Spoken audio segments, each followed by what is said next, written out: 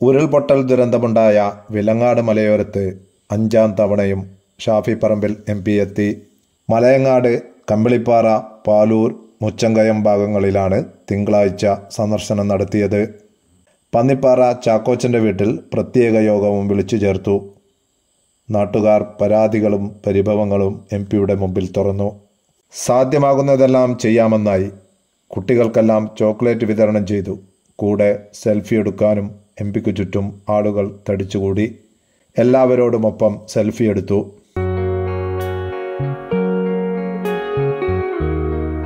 പിന്നെ ചാക്കോച്ചന്റെ അടുക്കള ലക്ഷ്യമാക്കി ഷാഫി നടന്നു. ഉച്ചഭക്ഷണം കഴിച്ചിട്ടില്ലെന്നും അടുക്കളയിൽ കഴിക്കാൻ വല്ലതുമുണ്ടോ എന്നുമായി ഷാഫി. കപ്പയും ചോറുമുണ്ടെന്ന് ചാക്കോച്ചന്റെ ഭാര്യ. പ്ലേറ്റ് എടുത്ത് ഷാഫി തന്നെ കപ്പയും ചോറും എടുത്തു കൂടെയുള്ളവരോട് ഭക്ഷണം വേണമോ എന്ന് ഷാഫി. എല്ലാവരും ഉച്ചഭക്ഷണം കഴിച്ചെന്ന മറുപടി. വിഷപ്പടക്കാനായി ഭക്ഷണം കഴിച്ച് വീട്ടുകാരോട് നന്ദി പറഞ്ഞ് ഷാഫി അടുത്ത കേന്ദ്രത്തിലേക്ക്.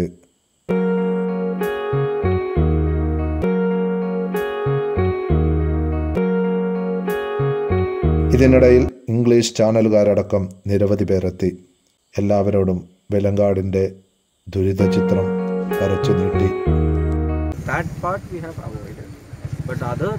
Infrastructural wise so many bridges you can't even travel easily. So many bridges so many houses which may look not destroyed are not still uh, uh, fit to live. Now uh, uh, for example mr joe's house it's nearby the river. Now all those things which came in the uh, landslide the mud soil rock tree everything is in the center of the river. So water tend to divert.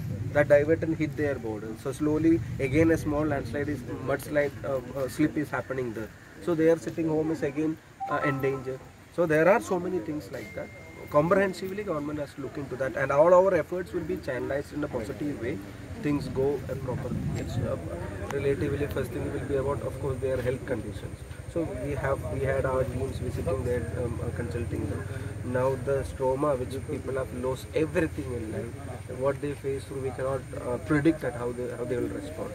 So we will uh, uh, interest people who can professional uh, competent people to talk with them to ensure that they come out of the trauma they live normal life and we will give all kind of support. So i said when i say special package it's not just the things which we can touch or feel it's about things a complete comprehensive thing mentally physically financially earning wise uh, residential wise all those things it has to cover all these things so uh, while uh, uh, talking to officials or meeting them we have put forward all these things And uh, uh, coming back to the after raising the bill, like raising the bill in Parliament, are you getting a positive response from the central government? everybody understood that we need that. Know, when I show the picture, when I show the video, when I requested for an opportunity to raise this, uh, even uh, not from the ballot list, I especially requested because this is the situation here. So everybody understands, and as you said, everybody's uh, attention was initially on uh, Wayanad, but now uh, slowly but steadily. Uh, things are turning to Velangad also. So, uh, sender must step in, no doubt in that.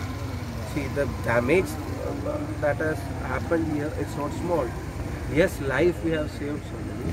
തെലങ്കാടിന് ഒരു പ്രത്യേക package ഇല്ലാതെ ഇതിൽ നിന്ന് ഈ ജനതയെ തിരിച്ചു കൊണ്ടുവരാൻ കഴിയില്ല ജീവൻ പോയില്ല എന്ന് ഒഴിച്ചു നിർത്തിയാൽ എല്ലാം നഷ്ടപ്പെട്ട ഒരുപാട് ആളുകളുണ്ട് ഇനി താമസിക്കാൻ പറ്റാത്ത വീടുകൾ ഇത്രയും കാലം ഉണ്ടായിരുന്ന കൃഷി വരുമാന മാർഗം വഴി അതുപോലെ തന്നെ കൃഷി സ്ഥലം വീടുകൾ വീടുകളുടെ അടിഭാഗങ്ങൾ മുഴുവൻ വെള്ളമെടുത്ത് പോയിട്ടുള്ള സ്ഥലങ്ങൾ Thank you.